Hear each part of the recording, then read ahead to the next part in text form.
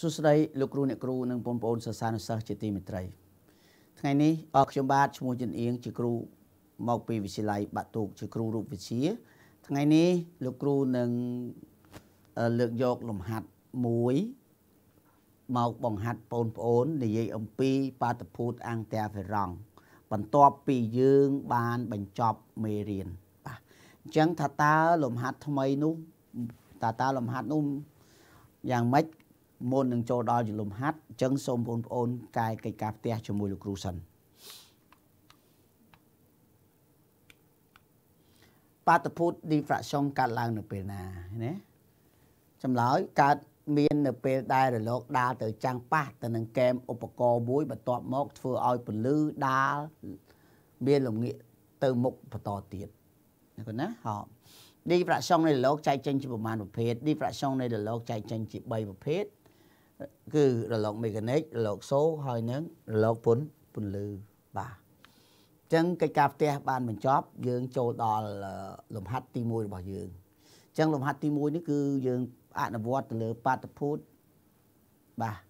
អង្គតែហ្វរងពន្លឺនឹងអូខេអញ្ចឹងយើងឃើញថាទីតាំងប្រងភ្លឺមិនទីតាំងប្រងងងឹតមិនអូខេអញ្ចឹងយើងមើលអូខេលំហាត់អនុវត្តទី1គេប្រើប្រភពពន្លឺ monochromatic គេប្រើប្រភពពន្លឺ monochromatic មួយ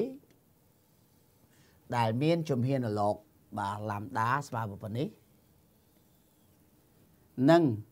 ចម្ងាយរង្វះស្មើប៉ុណ្នេះចម្ងាយពីប្រភពទៅអេក្រង់គឺ D ស្មើប៉ុណ្នេះកណនីចន្លោះប្រង់ឃើញទេកូនអញ្ចឹងយើងឃើញហើយថា កណនីទីតាំងហ្វ្រង់ភ្លឺនិងទីតាំងហ្វ្រង់ងងឹតទី2ទៅនឹងហ្វ្រង់កណ្ដាលកូនមើលហោខ្ញុំគូរូបឲ្យមើលបាទអញ្ចឹងកូនមើលណាអូខេ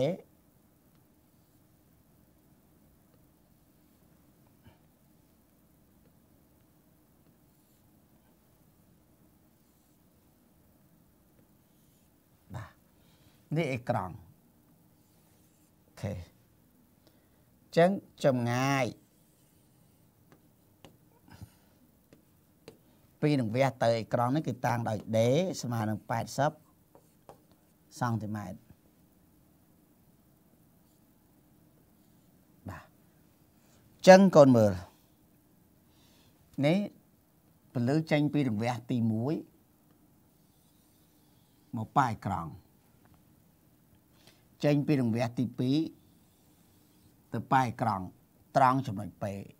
ហើយនេះគឺគេឲ្យឈ្មោះថា franc កដាលអញ្ចឹង franc កដាលគឺជា franc ភ្លឺបាទដែលត្រូវនឹងការស្មើសូន្យ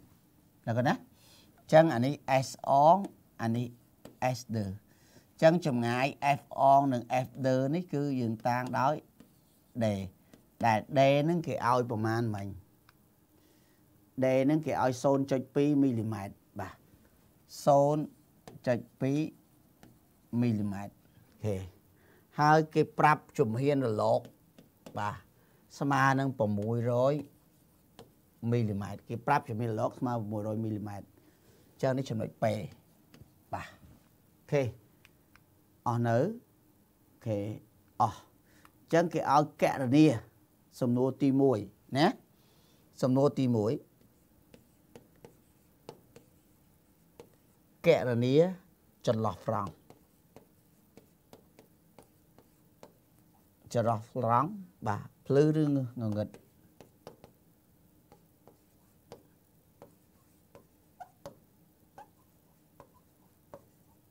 បាទ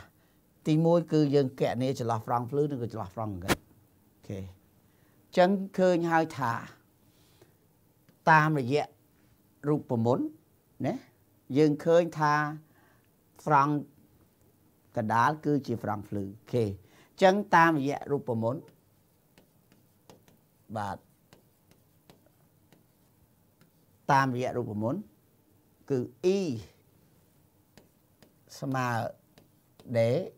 ឡាំដាលើ d អូខេ d ឡាំដាលើ d អញ្ចឹងឡាំដាយើងស្គាល់ដោយ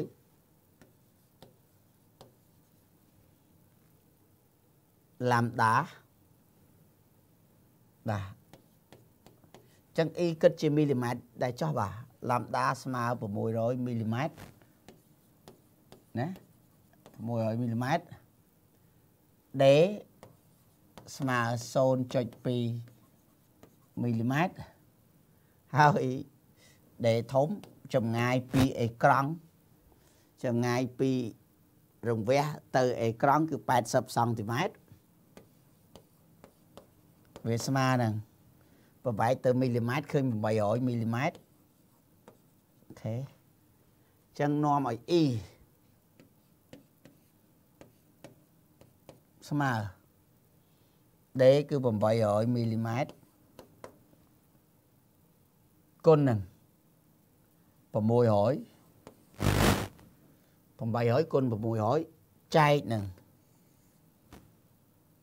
0.2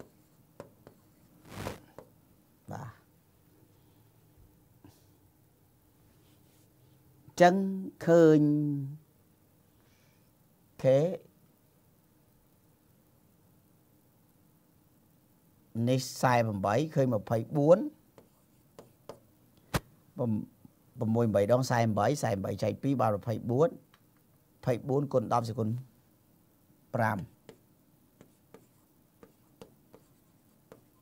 មីលីម៉ែត្រ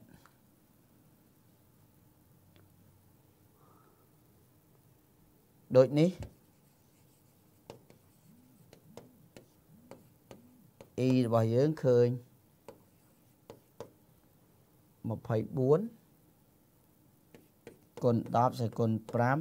5មីលីម៉ែត្របាទយើងឃើញសាហាវដែរលេខមីលីម៉ែត្រអូអានេះគេឲ្យមកណាណូម៉ែត្រ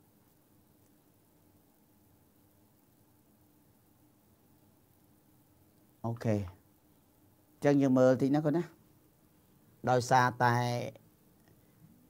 ឡាំដាគេឲ្យមកណាណូម៉ែត្រគេណាណូម៉ែត្រអញ្ចឹងកូនមើលណាណូម៉ែត្របាទអញ្ចឹងឡាំដាគេឲ្យមកណាណូម៉ែត្រអញ្ចឹងយើងបំបែក ຂະຫນາດខុសគ្នាទាំងអស់អញ្ចឹងយើងបំបែកទៅម៉ែត្រទាំងអស់បាទយើងបំបែកទៅម៉ែត្រទាំងអស់អញ្ចឹងអានេះយើងបបែកទៅម៉ែត្រឃើញដក9 6គុណនឹង10ផ្សេងគុណដក7ដក7ម៉ែត្របាទចានេះណាណូម៉ែត្រណាគុណណាសុំទោសគូមើលច្រឡំបាទណាណូម៉ែត្រ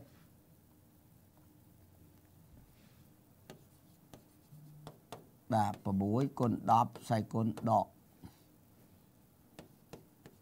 7ម៉ែត្រអានេះប្របែកទៅម៉ែត្រដក3ឃើញ2គុណ10សេគុណដក4ម៉ែត្រអញ្ចឹងអានេះប្របែកទៅម៉ែត្របាទបំបែកទៅម៉ែត្រទាំងអស់ទៅ បាទបំបែកទៅម៉ែត្រអានេះឃើញ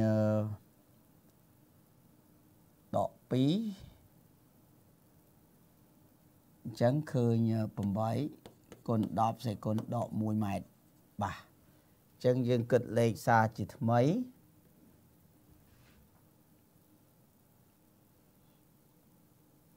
បាទយើងគិតលេខសារជាថ្មីគឺបាទ អូនមើលចឹងអានេះ8គុណនឹង10ស្វ័យគុណដក1គុណនឹង6គុណនឹង10ផ្សេងគុណដក7 8គុណ10គុណ1គុណអូខេចែកឲ្យ2បាទចែកឲ្យ2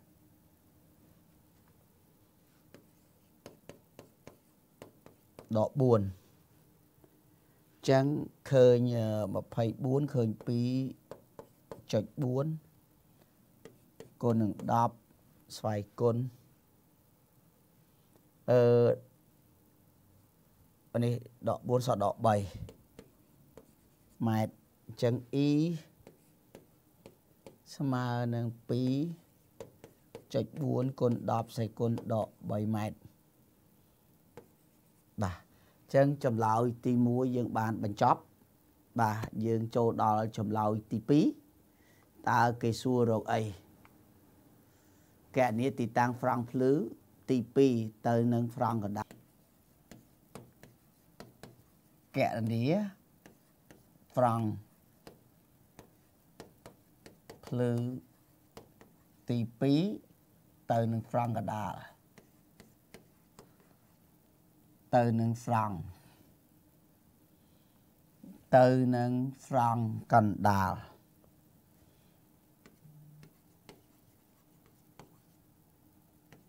បាទចឹងយើងឃើញហើយណាអឺ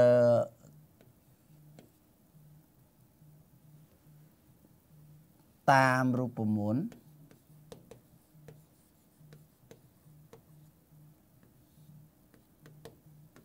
អ៊ីក្រែកស្មើដេឡាំដាលើ 2D បាទដោយអូសំទោសផ្លេចការ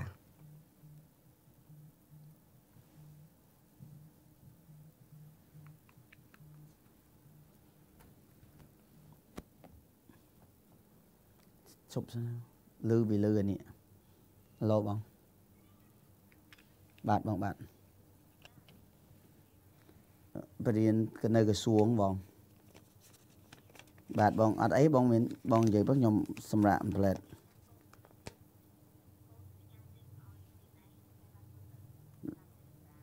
អញ្ចឹងហ៎បងបាទបាទបាទបាទ អូខេអូខេ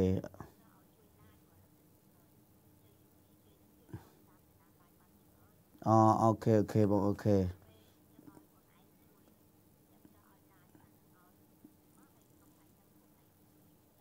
បាទបាទបាទបាទអញ្ចឹងខ្ញុំខ្ញុំចប់បាទបាទខ្ញុំចប់ទៅខ្ញុំ like ហើយបាទបាទបាទបាទបាទ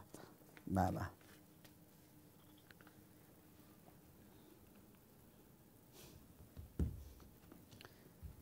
សុំត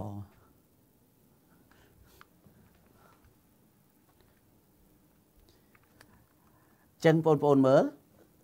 ចូលដល់សំណួរទី2គឺកណនីហ្វ្រង់ភ្លឺទី2ទៅនឹងហ្វ្រង់កណ្ដាលអូខេចឹងយើងឃើញថាទីតាំងហ្វ្រង់ភ្លឺយើងអនុវត្តតាមរូបមន្ត k y ស្មើនឹង k ដាត y ស្មើនឹង k d ឡាំដាលើ d អូខេចឹង កូនមើលណា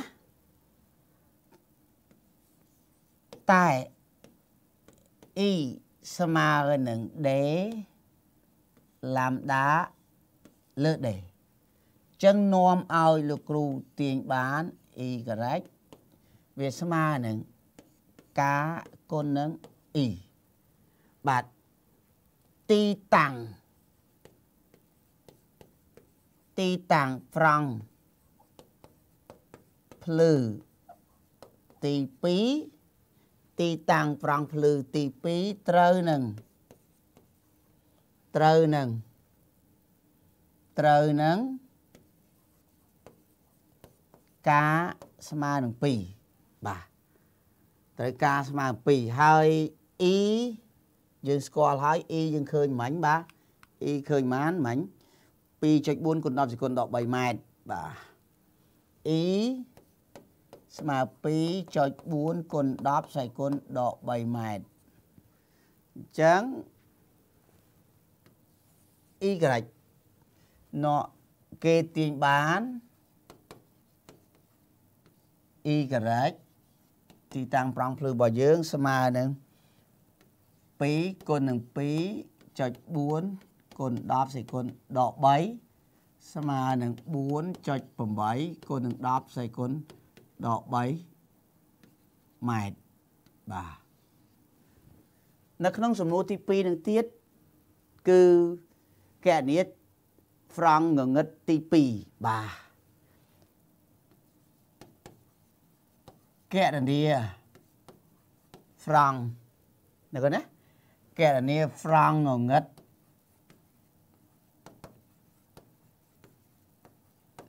ទី2 ទៅហ្វ្រង់កណ្ដាលកែនេះហ្វ្រង់ងឹតទី2ទៅហ្វ្រង់កណ្ដាលបាទកែនេះហ្វ្រង់ងឹតទី2ទៅហ្វ្រង់កណ្ដាលអញ្ចឹងយើងឃើញថា យើងអនុវត្តតាមរូបមន្តបាទតាមរូបមន្តអូខេ y ស្មើពីការបូក1 អូខេ d ឡាំដា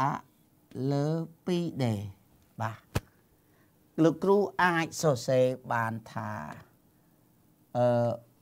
ពីការបូក1ចែកនឹង2គុណនឹង d ឡាំដាលើ d អូខេកូនមើលតែ e ស្មើ d ឡាំដាលើ d អញ្ចឹងនាំឲ្យ y របស់យើងនាំឲ្យ y របស់យើងស្មើអឺ 2k បូក1លើ2គុណនឹង e បាទឃើញទេកូនកូនមើលតទៀត franc ងងឹត franc ងងឹតទី2ត្រូវនឹងត្រូវនឹងការស្មើនឹង1បាទត្រូវនឹងការស្មើ1ហើយ e ស្មើនឹង2.4គុណ10ផ្សេងគុណដក3ម៉ែត្រគេទាញបាន គេទាញបានបាទគេទាញបាន y អញ្ចឹងចំនួនការស្មើ1ចូលបាន3លើ2ចំនួនការស្មើ1ចូលបាន3លើ2គុណនឹងបាទ3លើ2គុណនឹង2.4គុណ10សេគុណដក3ចឹង អឺឃើញ36មើលនេះ24 24បានចែកមកបាន2អចែកមកដល់2 12គុណ3 36ចឹងឃើញ3.6គុណ10សេគុណដក3អឺម៉ែត្របាទណាបាទអញ្ចឹងយើងឃើញឯថាទីតាំងហ្វ្រង់ភ្លឺ និងទីតាំងហ្វ្រង់ងងឹតយើងបានបាទបកស្រាយហើយហើយទីតាំងហ្វ្រង់ភ្លឺទី2និងទីតាំងហ្វ្រង់ងងឹតទី2អញ្ចឹងយើងឃើញថាវាខុសគ្នាត្រង់កន្លែងណារវាងប្រងភ្លឺនិងប្រងងឹតអញ្ចឹងកាលណាទីតាំងប្រងភ្លឺទី2គឺត្រូវការស្មើនឹង2តែម្ដងរីឯទីតាំងប្រងងងឹតទី2ត្រូវនឹងការស្មើនឹង1នេះកន្លែងនេះសំខាន់ណាស់ណា បាទត្រូវនឹងការស្មើនឹង1បាទទីតាំងប្រងភ្លឺទី2ត្រូវនឹងការស្មើ2ទីតាំងប្រងងងឹតទី2ត្រូវនឹងការស្មើនឹង1បាទអញ្ចឹងយើងឃើញថាសំណួរទី2យើងបានបញ្ចប់ យើងចូលដល់សំណួរទី3កណនីទីតាំងប្រង់ភ្លឺទី4គិតពីហ្វ្រង់កណ្ដាលអូខេ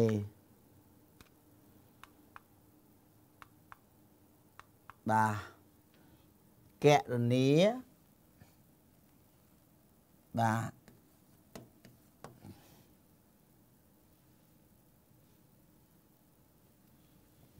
កណនី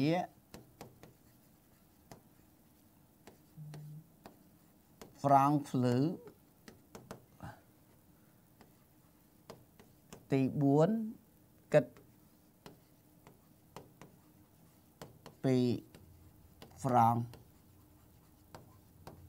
កណ្ដាលកណនីហ្វ្រង់ភ្លឺទី4គិតពីហ្វ្រង់កណ្ដាលអញ្ចឹងណាមើល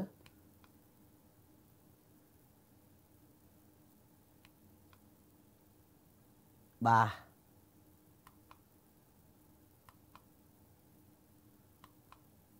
បាទនេះចំណុចទី3របស់យើងហ្នឹង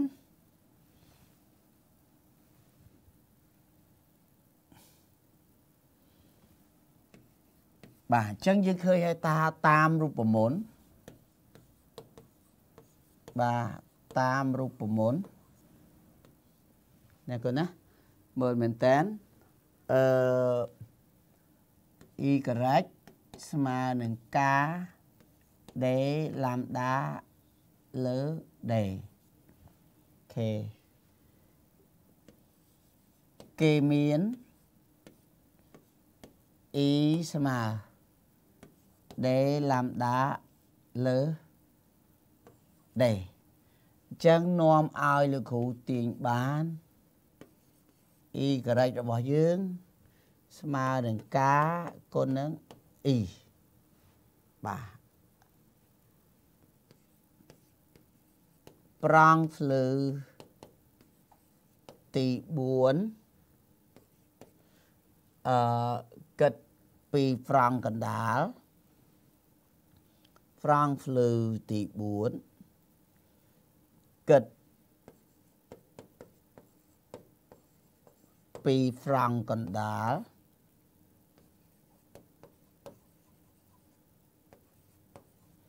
គិតពីប្រង់កណ្ដាលត្រូវនឹងការត្រូវនឹងការស្មើ4 ហើយ x ហើយហើយសំទោសមិន x ទេហើយ e ស្មើនឹង2.4គុណ10សេគុណដក3ម៉ែត្រនាំឲ្យ y របស់យើងវាស្មើនឹង4គុណនឹង2.4គុណ10សេគុណដក3ម៉ែត្រសុំទោះបាច់ដាក់ຂະຫນាតមកទៅអីទៀត បាទចឹងវាស្មើនឹងអឺ9.6បាទ9.6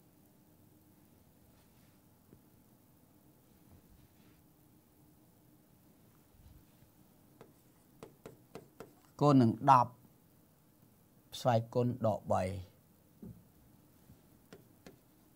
ទម៉ែត្រ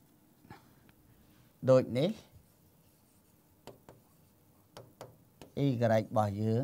ស្មើ9.6គុណ10សេគុណដក3ម៉ែត្រអូខេអញ្ចឹងយើងឃើញថាលំហាត់របស់យើងបានចូលដល់ទីបញ្ចប់ទៅហើយ បាទយើងឃើញថាយើងបានបកស្រាយរួចអស់ហើយរបៀបភាពខុសគ្នារវាង ហ្វ្រង់ភ្លឺនិងហ្វ្រង់ងងឹតណាកូនើតរបៀបហ្វ្រង់ភ្លឺនិងហ្វ្រង់ងងឹតបាទអញ្ចឹងបាទមេរៀននេះដោយសារតែការប្រឡងគឺគេអត់ដែលចេញទេ សម្រាប់បាក់ដប់ប្រហែលឆ្នាំមកនេះគឺគេអត់ដែលចេញទេបាទណាកូនណាអញ្ចឹងក៏ធ្វើឲ្យសិស្សនេះក៏គាត់អត់បាន ចាប់អារម្មណ៍ប្រមាណដែរព្រោះសិភៅសង្ខេបជាគោលរបស់ក្រសួងអប់រំរបស់យើងក៏ គេ skip គេ skip ចោលនៅមេរៀននឹងដែរបាទនៅមេរៀនបាតុភូតអង្គតែហ្វ្រង់នឹងដែរបាទនេះខ្ញុំចង់និយាយលើសភៅសង្ខេបរបស់ក្រសួងអប់រំរបស់យើងណាកូនណាអញ្ចឹងកូនយកទៅមើលផងបាទអញ្ចឹងយើងឃើញថាយើងមានសំណួរប្រឹងពុទ្ធិគឺចូលសរសេររូបមន្តចន្លោះ franc fleu និង franc ងឹតបាទដដែលដោយសារតែយើងរៀនពី franc fleu និង franc ងឹតបាទនេះ franc fleu អ បើ franc ងឹតវិញគឺពីកាបូក1 d lambda លើ 2d បាទអាយ៉ាបាទកូនកូនមើលបាទ 2d អានេះអានេះហ្វ្រង់ងងឹតបាទអានេះទីតាំងហ្វ្រង់ភ្លឺបាទចឹងយើងឃើញឲ្យថា សំណួរប្រឹងពុទ្ធិរបស់យើងក៏បានបញ្ចប់ យើងចូលដល់កិច្ចការផ្ទះបាទបាទកិច្ចការផ្ទះនេះគឺយើងធ្លាប់